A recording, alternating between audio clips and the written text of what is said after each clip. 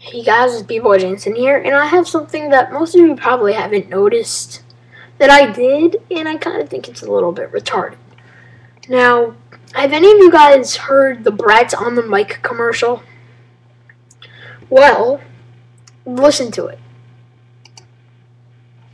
Girls are gonna rock right now. Change your voice and get down. Change it, choose it,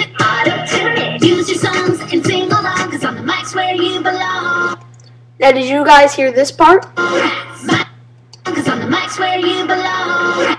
Because on the mic's where you belong. I just noticed that if you need to use a Bratz auto-tune mic, you really belong on the mic.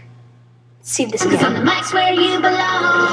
Mic for her, mic for you. Yeah, rock stars, what you do. On the mic.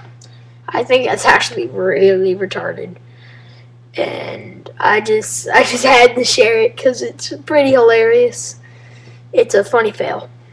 Now, thank you guys, and I hope you guys can find more of these epic fails with commercials and stuff. So, um, again, thank you. Thanks. Peace.